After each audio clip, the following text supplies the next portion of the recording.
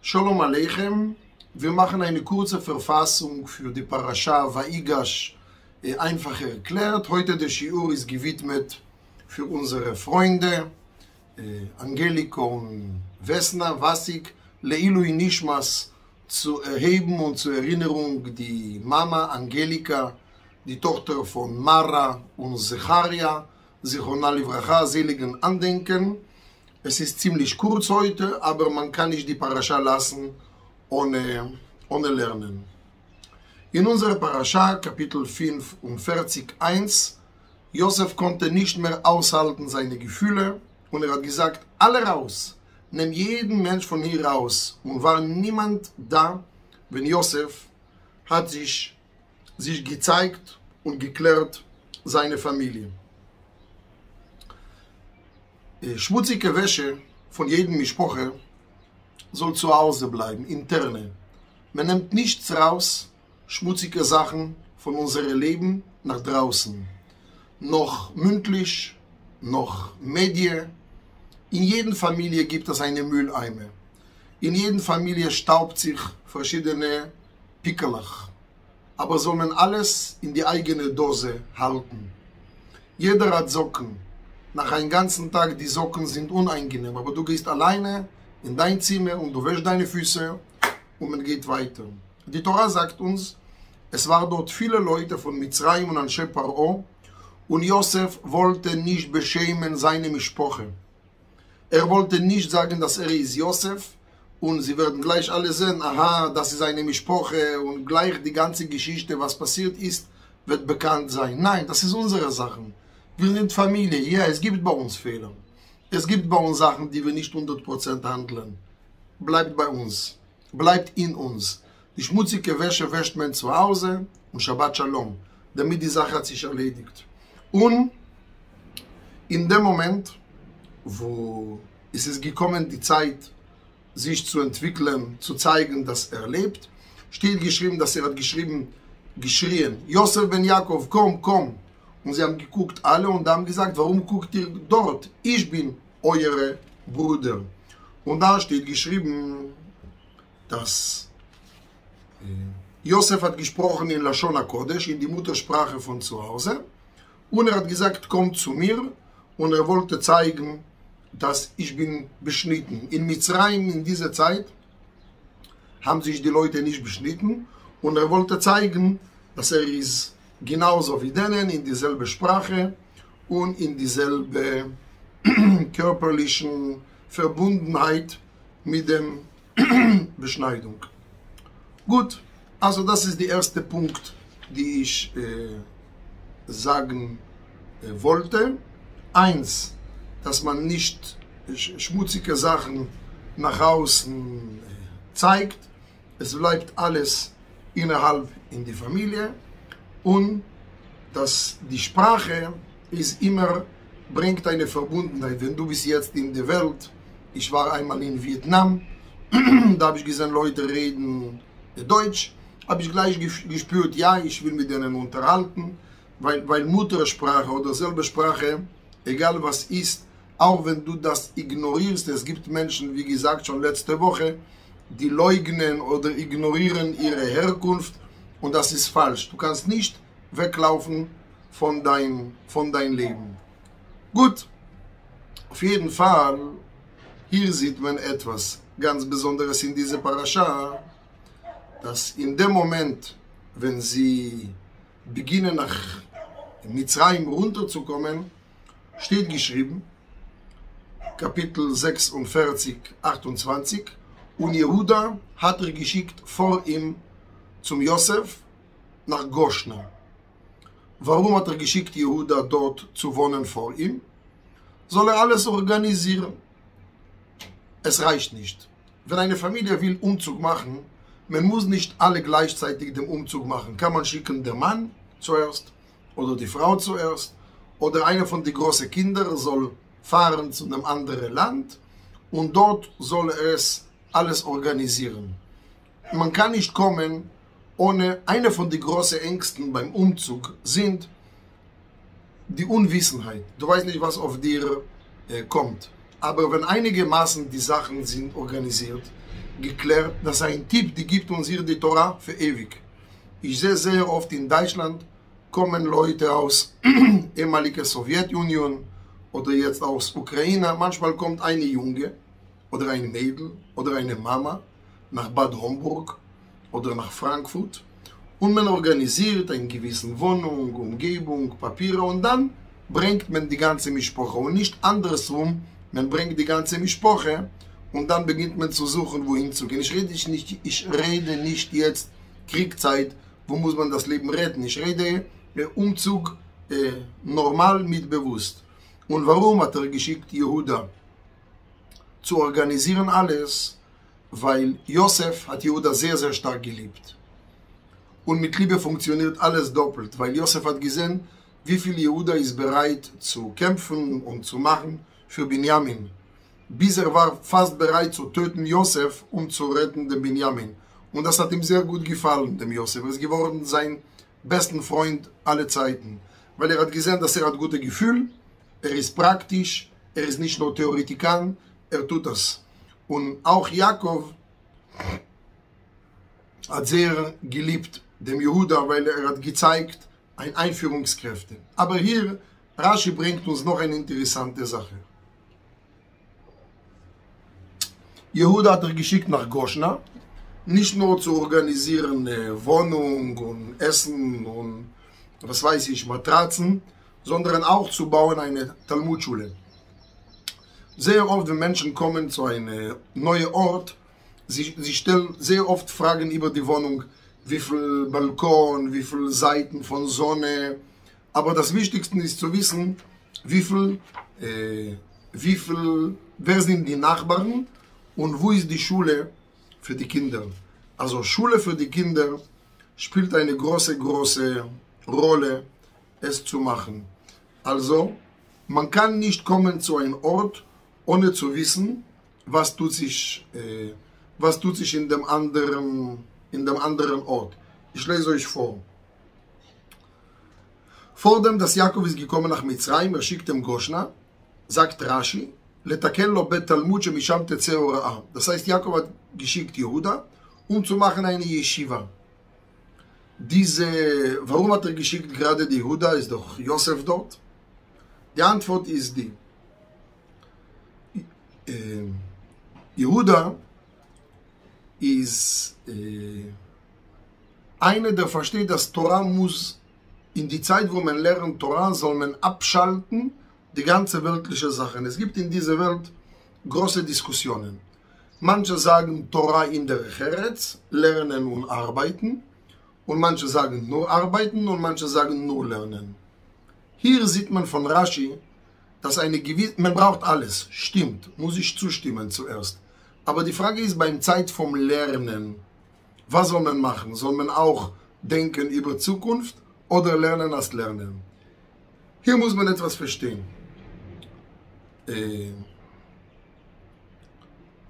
jede Sache, was man tut in der Welt, muss man es machen komplett, vollkommen, vollständig. Torah ist etwas himmlisch. Erde und Geschäften ist etwas erdisch. Erdisch ist eine Sache, wo du siehst sofort Ergebnis. Das ist so wie Kochen, das ist so wie Backen, das ist so wie ein Händler.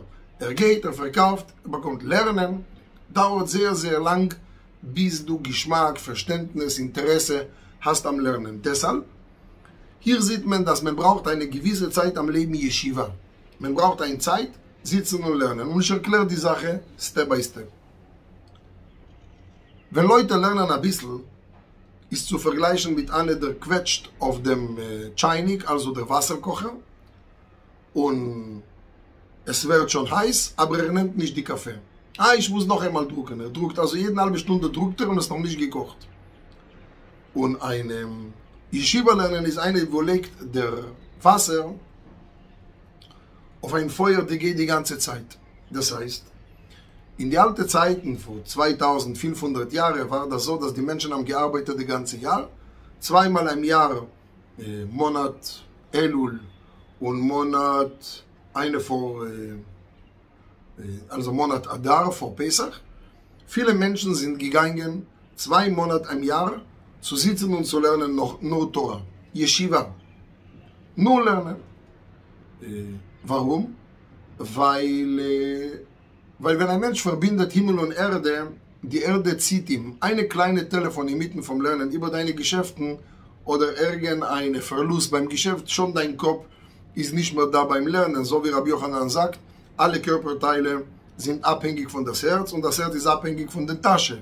Geld spielt bei einem Menschen eine große Rolle, deshalb will er machen eine Yeshiva, wo man sitzt und man lernt, so wie Schabes, so wie die Manna in die Wüste. Ich habe einen Freund in Frankfurt, ein Geschäftsmann, ein, ich würde sagen, Immobilien äh, also er ist noch jung und er geht einmal im Jahr, zwei Wochen nach Jerusalem, zu sitzen in einer Yeshiva, nur sitzen und lernen. Volle, volle Programm. Und das ist die Sache, was man will hier. Er schickt ihm nach, äh, das nennt man Yiddishkeit al Taharat HaKodesh. Dass man lernt nur Torah. Es gibt viele Leute, sie wollen nicht schicken ihre Kinder zu Yeshiva. Ja, sie müssen oben Parnosse äh, und so weiter. Muss man wissen, was ist das Wichtigste am Leben.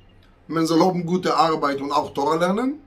Und soll man Torah lernen und auch eine gute Arbeit. Beide sind wichtig. Die Frage ist, was ist bei dir die Hauptsache? Hier ist die Hauptsache, lernen Torah. Soll wachsen ein ehrlicher, anständiger Jid, ein anständiger Mensch. Ein Mensch, wo Torah ist bei ihm die Hauptsache. Hier braucht man Parnasse, wird man Parnasse finden. Sowieso nur der Zwang und das Muss erweckt die verborgene Kräfte. Wenn du nicht musst, wirst du nicht finden. Wenn du hast Kinder und Enkelkinder und du hast große Mischproche und du brauchst Geld, du wirst dich bemühen, du wirst arbeiten und Hashem wird dir mit Gottes Hilfe äh, helfen, weil sowieso Hashem ist der Zuständige für die ganze Sache. Gut. In Kapitel 47, 8, Josef bringt sein Vater Jakob und er bringt ihn zu Paro und er segnet ihn. Also fragt ihn, wie geht's? Und er fragt ihn, wie alt sind sie? Kama yemei shnei chayecha. Jakob sagt, die Jahre von meinem Leben, also ich lebe äh, 130 Jahre, wenig und schlecht waren mein Leben. Und ich bin nicht gekommen zu gutes Leben. Also, Jakob ist, hat bekommen sehr, sehr viele Schläge auf, auf sein Lebensschiff. Und er, er sagt, mein ganzes Leben war ich wie ein Fremder, wie ein Asyl in ein Land ohne Ruhe. Das von seiner Kindheit, sagt Jakob, musste ich weglaufen von Esau, betrogen vom Lavan, Rachel, Lea, Tod von Rachel, Dina, Shimon, Levi, Josef, also viele, viele Geschichten. Stellt sich die Frage hier, wenn zwei Leute treffen, insbesondere erfahrene Leute, ältere Leute, man stellt nicht diese Frage, wie alt sind sie? Wie war die Reise? Wie geht's ihnen? Gibt es andere Fragen? Was lernen sie? Was ist dein Hobby? Äh, wie fühlst du dich? Wie alt bist du? Die Antwort ist, Jakob hat ausgesehen sehr alt, müde und vermattert. Also, es gibt Sachen am Leben, Situationen, die beschleunigen das Alter sein. Und die Schatten von dem Alter, die Akkordeon von den Falten, die, die Licht vom Leben wird langsam gelöscht.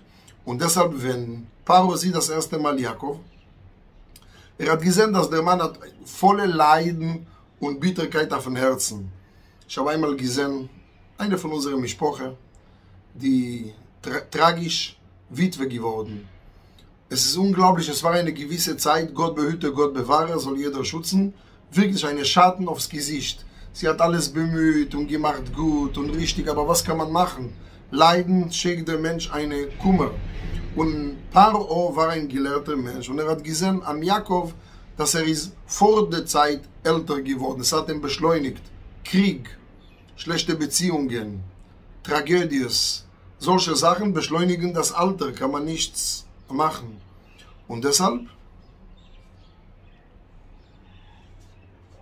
das, was hat Jakob gesagt jetzt zum Paro, steht geschrieben für jedes Wort, was er hat gemacht, hat Hashem hat reduziert sein Leben. Das heißt, auch wenn es uns nicht so gut geht, soll man es nicht mehr machen. Gut, letzte Sache von der Parascha.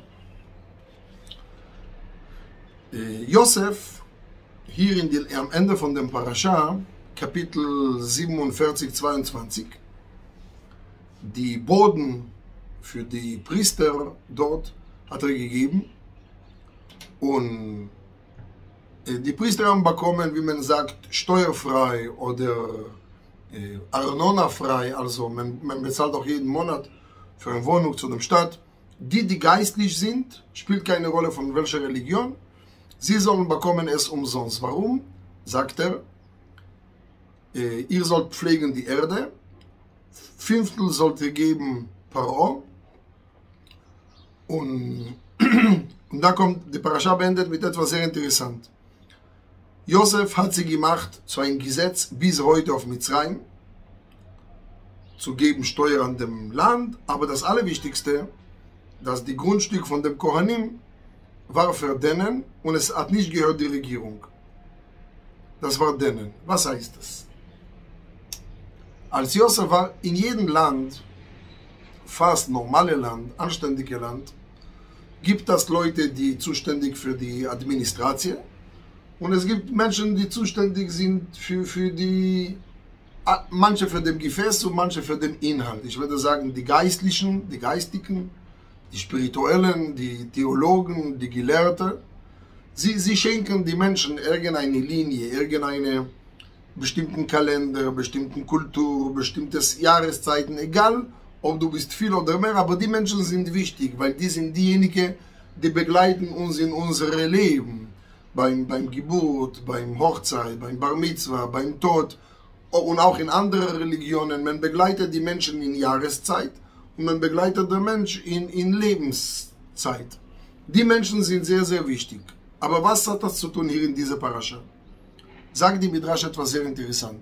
Als Josef saß in Ägypten, im Gefängnis, ich weiß nicht genau, wie viele Jahre Josef saß in dem Gefängnis, wenn ich so grob rechne, äh, von 17 bis 30, dass er ist gekommen, dann war er 13 Jahre im Gefängnis, aber ich weiß nicht, wie lang war der Prozess und wie viele Jahre ist er raus und bis der Hochzeit, bei Hochzeit steht geschrieben, dass er war 30.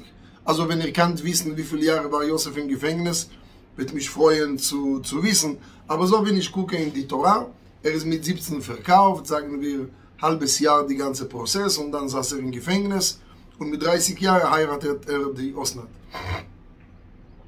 Als Josef war im Gefängnis, hat man ihn geschlagen und geprügelt und vergewaltigt und hat man ihm, Gefängnis ist keine ähm, Sommerferienlager. Äh, das ist ganz, ganz extrem kriminelle Menschen, die kriminell draußen und noch schlimm und barbarisch drinnen. Und hat man Josef wirklich schweres Leben dort gemacht.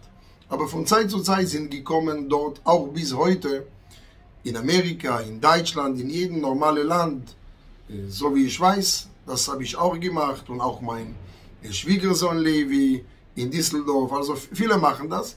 Sie gehen von Zeit zu Zeit in die Gefängnis und sie bekommen besondere Genehmigung äh, reinzukommen und sie können mit den Gefängnisbewohnern, mit den Gefangenen äh, sprechen, unterhalten, motivieren, sehr oft, wenn ein Mensch ist im Gefängnis, hat er so plötzlich Bedarf.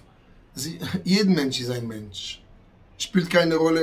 Er bezahlt seine Strafe, wenn er sitzt im Gefängnis schon. Aber trotzdem seine, seine Neshome, seine Würde, seine, seine Edelkeit bleibt, bleibt trotzdem da. Deshalb muss man auch die Leute kümmern. Ich habe einen Onkel in Amerika, in Miami, äh, Rabbi Lipsker, der hat sogar eine Organisation, die heißt Aleph, wo, wo er wirklich geht zu allen Leuten in Gefangenschaft. Es ist nicht nur bei Juden, das ist auch bei allen anderen Religionen, kommt so eine Geistliche. Auch in Mitzrayim, wenn Josef war alleine und einsam und weggetrieben von seiner Besproche, die Leute, die Koranim, die Priestertum oder die Pfarrer, ich weiß nicht welche Religion war das, es waren alte, alte, alte Kopters, koptische Menschen, aber es war etwas so wie India, so wie ich verstehe, weil ich sehe, dass Rashi hat gesagt, dass es war keine Schafhirten in, äh, in Mitzrayim, so wie in India, die Kühe sind frei äh, zu laufen. Es war etwas, weil sie haben geglaubt, das ist der, der Gott nach dem Sternzeichen. Sie waren so Astrologen, Kopter, Rinder, Achten. Aber trotzdem, auch bei denen, in jeder Religion gibt es Sinn, Inhalt, äh, Lehre, Und gute Menschen, gute Menschen, klar. Und die gute Menschen, die Priestentum von Mitzrayim, haben Josef besucht. Josef bleibt immer dankbar. Josef sagt, spielt keine Rolle, wer hat dir geholfen am Leben. Hat, hat jemand dir was Gutes getan? Versuch ihm was Gutes zu tun, so weit und so lange du kannst. Es hört nie auf die Dankbarkeit. Dankbarkeit ist eine eingravierten Eigenschaft. Wenn einer hat dir am Leben was Gutes getan, wo du ihn gebraucht hast oder auch nicht, spielt keine Rolle. Hat jemand dir was getan, sollen es nehmen. Hashem soll unsere liebe Angelico trösten nach dem Tod von seiner Mama und seine Frau und die Kinder und die ganze Mischproche. Und Hashem soll helfen, dass wir auch, auch beim Trost nicht vergessen, auch beim Tod und Trost, nicht vergessen auch zu bedanken auf die guten Sachen. Sei gesund und stark und einen guten Schabes. Schkoyach.